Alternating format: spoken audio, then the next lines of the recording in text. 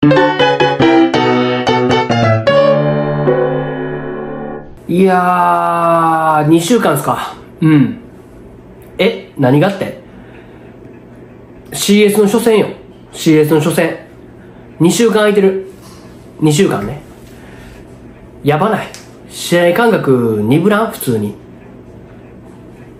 てな感じで始まりました。小山翔平ベースボールチャンネルです。今日も最後まで見れてください。よろしくお願いします。はい、今日はですね、ちょっと、まあ、試合感覚鈍らんっていう話をちょっとしていきたいなというふうに思ってます。えーどういうことかっていうと、まあ、昨日、ジャイアンツね、えーまあ、シーズン、最終戦やったじゃないですか。で、まあ、見事勝利してね。まあ、それはすごく良かったですけども、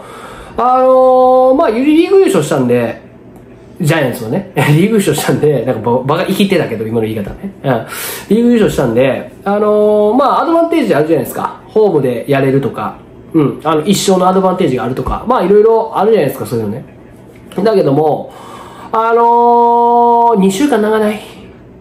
2週間は長ない。ほんまに長ないか。うん。え、昨日2日でしょ。昨日2日でしょ。で、えー、確かシリーズの初戦が始まるのが16日なんですね。16日。2週間空いてるの丸、丸々ね。で、えー、まあ皆さんにちょっとお伝えしておきたいのが、やっぱり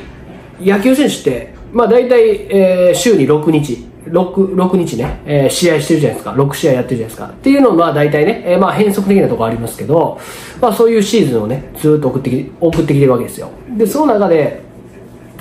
2週間試合ないと、試合感覚鈍るんですね。はい。皆さんもそうでしょう。お仕事2週間行かなかったら、ちょっと調子狂うでしょ。えそれと一緒なんですよね。本当に、だから、えー、まあ3位であったりとか、2位のチームは、まあすぐにまあ大体試合あるわけじゃないですか。だから、まあいいんですけど、ジャイアンツ、だから試合がね、えー、ないわけなんでね、えどうすんのってところなんですよね。で、そこでまあ、今ね、この時期にはフェニックスリーグというね、え若手のリーグが宮崎でやりますから、それをね、えー使って、まあ、あのまあ、実践感覚をね、鈍らないようにしていこうっていうね、今、ジャイアンツの動きなんですね。まあ、これは、まあ、大体、えーリーグ優勝した時はですね、えー、なんだ？おどすあのの、それそれ。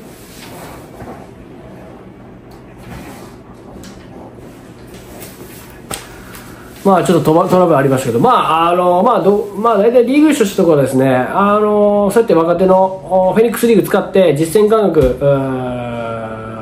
二村さんとこうよね、みたいな感じでね、えーやったりするわけですよ。で、その中で、じゃあ誰行くのって。えー誰をね、宮崎に派遣、派遣というか、まあ、生かして、えーやるのってところなんですよね。で、今ちょっと記事見てたんですよ。うん、記事見てたら、あのー坂本さんであったりとか、岡本和真なんかは、東京でシートバッティング、まあ、ジャイアンツ球場でね、シートバッティングして、えーまあ、実践感覚を鈍らせないっていうところですね。まあ、ベテランとかっていうところですよね。どっちかというと、主力っていうところですね。で、えー今行こうって、えーしてる選手はですね、まあ、門脇選手であったりとか、まあ、浅野選手だったりとか、で、ちょっとびっくりしたんですけど、丸選手も行きたいって言ってるらしいんですよね。だから、本当にまあ、丸さんって主力の主力じゃないですか。もう主力の中の主力じゃないですか。だから、あの、全然ね、えー、まあ、志願するのはいいと思うんですけど、僕が心配なのはね、マジで怪我なんですね。はい。まあ、どこでやったとしても、まあ、シートバッティングしたとしてもね、まあ、怪我の可能性はあるんだけども、まあ、どう考えても、やはり、あの、相手チームと戦うわけですから、あの、怪我のリスクって高まるわけですよ。で、このね、宮崎フェニックスリーグっていうのは、まあいろいろありまして、今先ほどね、若手のリーグだよっていうふうに言った、言ったように、やっぱりシーズン終わっちゃってるんで、来年以降の課題とかをしっかり潰していこうぜって、えー課題を克服していこうぜっていうような若手がいっぱい来てるわけですよ。っていうことは、例えばですよ、あの、まあ、あの、ある一つの球種を投げたい。これを、まあ例えば習得したい。とか思ってるピッチャーがいたとして、そればっかり投げたりとか、逆にこう、例えばね、スピードアップさせたりっていう風なところがあったりとかね、してね、こう、ギャン投げしてくるピッチャーとか、結構ね、なんて言うかな、めちゃくちゃな野球、野は野球なんですけど、結構こう、なんていうの、個人の能力とか、あ技能を上げていくみたいなところに、ね、結構フォーカスを当ててるリーグなんで、どっちかというと、あのーなんて言うんだろう。結構、なんて言ったらいいのな、実践は実践なんだけど、実践にならない可能性もあるんですね。ストレートばっかり投げてきたりとか、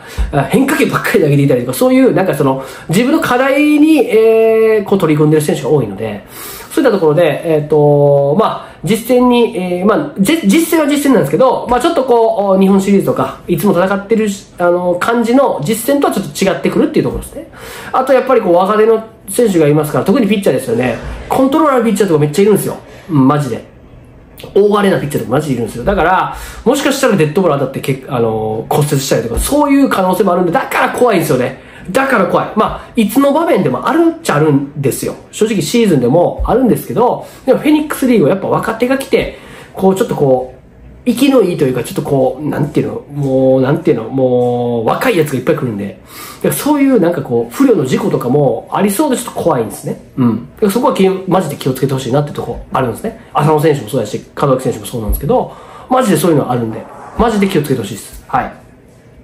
で、安倍監督もなんかあの7日から、7, 7日からあのフェニックスリーグが開催開催されるんですけど、7日から9日までの3日間宮崎に行くみたいなんですね。で、視察するみたいなところあるんで、まあもちろんね、えー、門脇選手だったりとか浅野選手のコンディションを見るみたいなあところもありますけど、で、マジでね、これね、2軍の選手ね、チャンスだと思います。というのも、安倍監督ね、えー、やっぱり息のいい選手というか、あのー、調子のいい選手使っていきたいっていうふうなことをね、コメントしてたんで、で、安倍監督のことだから、マジでそれやると思うんで、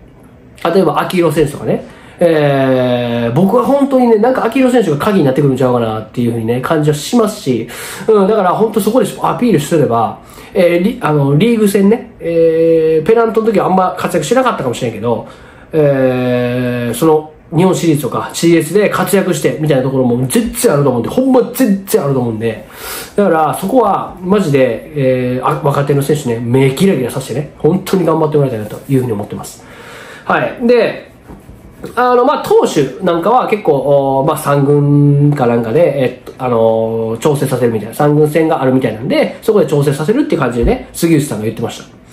で、僕ね、まあ、先ほど、まあ、野手、まあ、門脇、浅野、モンテスがあ、モンテスじゃない、丸が行くみたいな感じで言ってましたけど、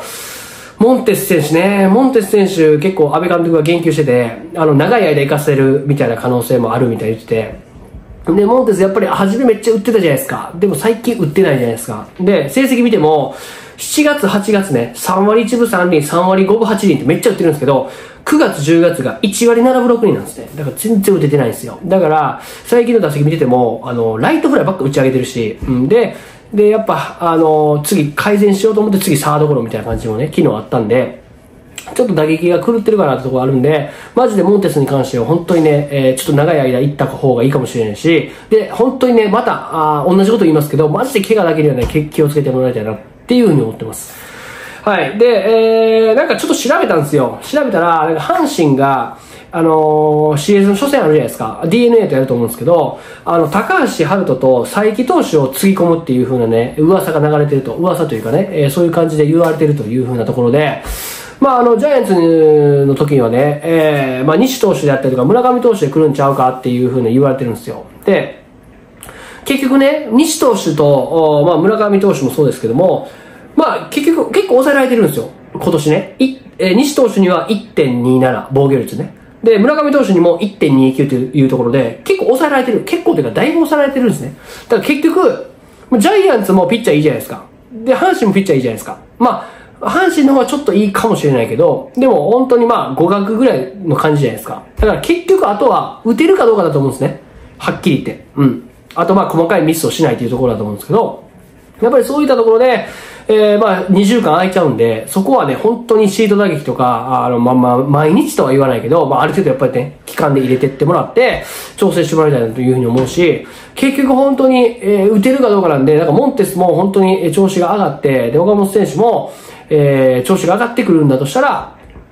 坂本選手もとかもそうだけども、上がってくるとしたら、えー、絶対勝てると思うんで、だから、あのー、まあね、あと2週間あるんで、まあ、あのね、ちょっとずつね、こう、CS に対する、え、動画とかも出していきたいと思うんですけども、もう、まあ、今ね、2週間前で思うことは、まあ、やはり、えー、まあ、今見ても、まあ、村上、えー、投手とね、西投手が来る可能性が高いというところで、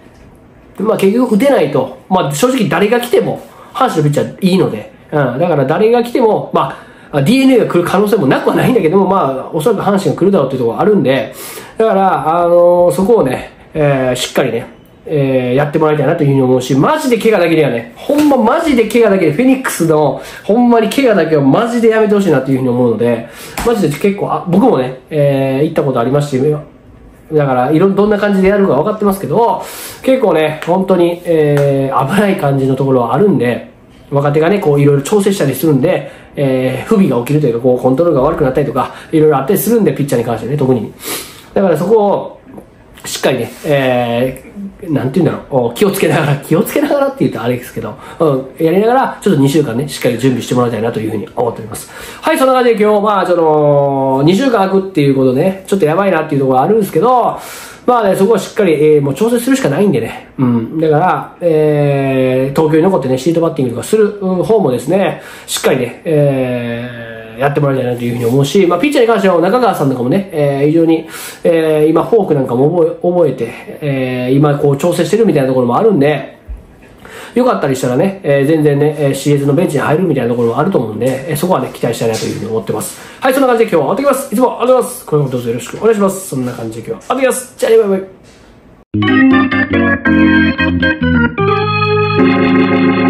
イ。